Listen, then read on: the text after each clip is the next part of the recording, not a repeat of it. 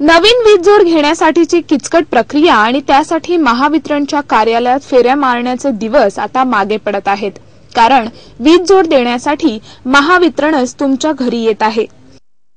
पुण्यात गणेशखिंड मंडल कार्यालयाच्या कार्यक्षेत्रामध्ये मागील त्यांना नवी वीज जोडणी हा पथदर्शी प्रकल्प सुरू करण्यात आला असून त्या अंतर्गत आतापर्यंत सुमारे अडीच हजार जणांना घरी जाऊन वीज जोडण्या देण्यात आल्या आहेत.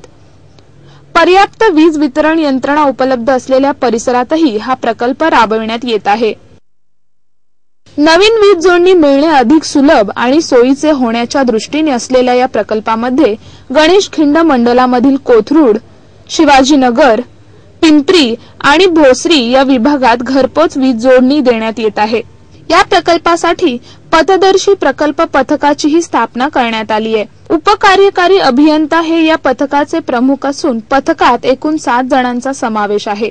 घरपोच वीज जोडणी मिळण्याच्या योजनेत वीज जोडाची मागणी करण्यासाठी एक आठ शून्य शून्य दोन तीन तीन नऊ एक एक नऊ हा टोल फ्री क्रमांक देण्यात आला आहे. या क्रमांकावर फोन करून वीज जोडाची मागणी नोंदवावी लागेल.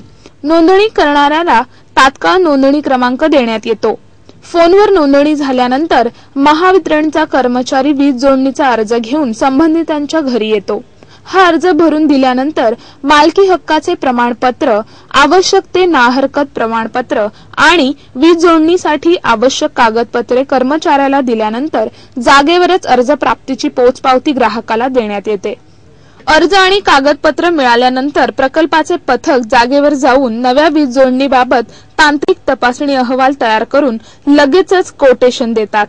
या कोटेशनच्या रकमेचा संबंधित विभागीय कार्यालयात भरणा झाल्यानंतर पावतीची सत्यप्रत आणि चाचणी अहवाल तयार असल्याचे टोल फ्री क्रमांकावर कळविण्यास वीज जोडणी करण्यात येते.